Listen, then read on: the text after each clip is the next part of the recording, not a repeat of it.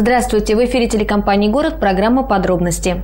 Травяной пал – настоящее стихийное бедствие. Только с 28 февраля по 25 апреля в регионе зафиксировано 1723 случая горения сухой травы. И практически единственным виновником поджога является человек. На что только люди не списывают свои неразумные пристрастия. И трава-то в этом месте будет зеленей, и вредители погибнут, и скот не заблудится, а заодно и профилактику настоящего пожара проведем – а чем он, собственно, отличается, если также гибнут флора и фауна? Огненная стихия перекидывается на деревья и строения, люди задыхаются в дыму, а техника и специалисты вынуждены успевать в несколько мест сразу. Об этом подробнее говорим с начальником областного учреждения «Пожлес» Сергеем Абрамовым. Начнем вот с какого вопроса. Чем ваша организация отличается от других? Пожлес – это специализированное учреждение по тушению пожаров на территории Рязанской области. Штатная структура состоит из 19 филиалов, расположенных на территории всей Рязанской области, 4 пожарно-химические станции третьего типа и 15 пожарно-химических станций второго типа. А вот чтобы было понятно телезрителям, это что значит? Значит, что такое пожарно-химическая станция третьего типа? Это 18 человек личного состава, 4 единицы техники автомобильной пожарной цистерны, два гусеничных трактора, три колесных трактора с плугом и водораздатчиком, два патрульных автомобиля и пожарно-техническое вооружение, которое используется при тушении лесных пожаров. Мотопомпы, бензопилы, воздуходувки. То есть то, чем необходимо проводить работу и мероприятия при тушении лесного пожара. А ваша работа, она начинается когда? Сразу, как поступает сигнал? Или когда уже МЧС, спасатели, они не справляются? Или вы вместе работаете? Все, что касается тушения лесного пожара, это чисто это наша юрисдикция, да. То есть все, что тушится в Рязанской области в лесу, это работа непосредственно нашей организации. Сейчас, как э, началась работа, уже начался сезон, и почему-то наши жители считают веселым занятием поджечь траву. Очень сложная в этом году обстановка в плане и непосредственно неконтролированных палов сухой травы. Обусловлено это половодием небольшим, которое прошло в Рязанской области. Зеленая трава еще не покрыла, не появилась, не появилась да, а огромное количество сухой травы, влаги в земле нет – Поэтому количество сухих палов э, в разы больше, чем в прошлые годы. Я в цифры, чтобы не вдаваться, количество выездов на тушение э, сухой травы с угрозой лесу в этом году увеличено в 8,5 раз. Это очень серьезно. Это очень, это очень большой, это огромнейший процент. То есть еще не наступила как таковая жара, погода достаточно приемлемая. Как вы, кстати, контролируете отдыхающих, которые разводят костры, ставят мангалы? Это тоже может вызвать определенные да. последствия. Существует ряд превентивных мер, дабы не допустить лесного пожара, в которые входит это и устройство минерализированных полос, обновление минерализированных полос. То есть это обычная опашка, чтобы зрителям было понятно. Вот. Устройство и создание противопожарных, а, а, точнее аншлагов с противопожарной тематикой. То есть о недопущении разведения огня и вообще правилах поведения в лесу. Устройство шлагбаумов, о, которые могут ограничить въезд в лесные массивы жителей пожароопасный период. Вот. Это меры предупредительного характера. И меры такого характера, как уже непосредственно основной целью которой является это обнаружение тушение пожара в ранней стадии его, когда он еще не набрал силу. Это целый комплекс мониторинга работает по этому поводу. Это комплекс космического мониторинга.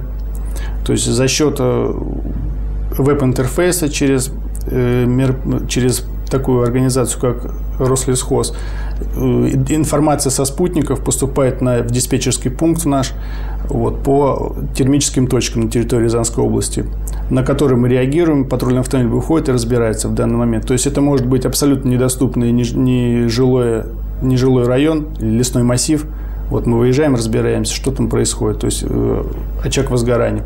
Еще одна, один из комплексов, комплексов, который мы используем в качестве мониторинга, это комплекс видеонаблюдения. В Рязанской области на мачтах сотовой связи установлено 11 камер видеонаблюдения, которые ведут в режиме онлайн наблюдения за лесными массивами в радиусе до 15 километров. Информация... Постоянно кто-то отсматривает? Да, диспетчер, создан региональный пункт диспетчерского управления.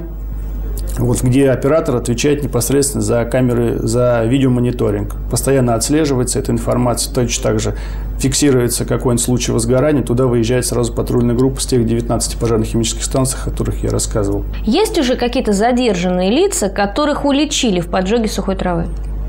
Вот на, по, моему, по моей информации, ни одного человека в этом году пока еще не уличили за поджоги сухой травы. А если какую-то статистику до этого привести, в прошлые года были такие случаи, или они остаются безнаказанными по факту? Значит, что касается возгорания в лесах, то и то по статистике прошлого года проводится очень, провелась очень огромная работа. Это в части Министерства лесного хозяйства. Там есть такой отдел, как надзорный. Вот. У них там достаточно более 200 случаев таких вот именно по возгоранию в лесах. А по э, возгоранию сухой травы тут юрисдикция чуть не Министерство лесного хозяйства. Есть какие-то территории наиболее сложные и опасные? Там, где чаще всего поджигают что-то или отдыхают? Все территории, которые, так скажем, относятся к рекреационной территории, это где люди чаще проводят отдых, она и является самой опасной. У воды, посадки, что-то такое? Воды, люди отдыхают где любят? Чтобы была Полянка. вода, поле и лес. Вот. Пойма реки – это сейчас самое страшное место. То есть там трава еще зеленая не вышла, а сухая трава там есть. Поэтому вот случаи лесных пожаров, и они в основном-то и в этот период, вот апрель-май, это как раз за счет неконтролируемой палов сухой травы, есть непосредственно угроза как и населенным пунктам, так и лесным массивам. Кто это чаще делает? Молодежь, которая просто не понимает, или старики, которые говорят, ну сколько лет жгли, и в этом году ничего и, не будет? И те, и те. Вот и цели акции как раз-то еще раз донести до людей, что это несет огромную опасность. Вот пример я могу привести по сельхозпалу, в чем его, его опасность. И тут никакого перегибания палки в этом нет. Вот в Амурской области 14 апреля был случай, что при сельхозпале резко изменился ветер, 9 человек пострадали, получили огромные ожоги серьезной степени. В минувшие выходные 26 числа прошла любопытная акция. Для чего нужны подобные мероприятия и как часто они у вас проходят? Это всероссийская акция. То есть это акция под эгидой Рослесхоза. Она проводится во всех городах Центрального федерального округа и вообще во всех городах России. А так мероприятие, вот в частности в Рязани в прошлом году проводилось две таких акции. Вот. Что касается по непосредственно информированию людей, это происходит в средствах массовой информации и путем раздачи листовок в течение всего пожароопасного периода. Всегда интересно какие-то примеры услышать. В этом году были особенные случаи, о которых уже можно рассказать? 13 апреля в Шацком районе зарегистрирован лесной пожар, причиной которого стало э, заход в лес за счет сжигания неконтролируемого пала сухой травы. Синоптики прогнозируют жаркое лето, по крайней мере, вот на данный момент. Как вы к этому готовитесь? Есть ли у вас какие-то прогнозы и, может быть, особая подготовка? Прогнозы, я считаю, это мое личное мнение, дело неблагодарное, абсолютно. Нужно быть только... Вот можно привести только одни фактические цифры. Как я уже говорил, количество выездов в этом году на тушение увеличено в 8,5 раз. В 8,5 раз. Это говорит о том, что уже на данный период это нас человеческий фактор. Все это человеческий фактор. 95% возгорания как в лесах, так и в сухой травы – это человеческий фактор. Это статистика. Вот, казалось бы, 2010 год, на мой взгляд, должен был научить людей очень многому. Люди потеряли кровь, потеряли какую-то атмосферу, которую мы любили с детства. То есть вот наши уголки, где мы отдыхали. И все равно после этого мы продолжаем поджигать. Как это объясняют ваши сотрудники, вообще люди, которые видят последствия? В 2011 году никому не надо было ничего объяснять. У всех были свежие воспоминания этого. Нужно было только обозначить какую-то проблему, она решалась сразу. Как и с жителями, так и вообще в целом. Сейчас уже у нас с вами 14 год.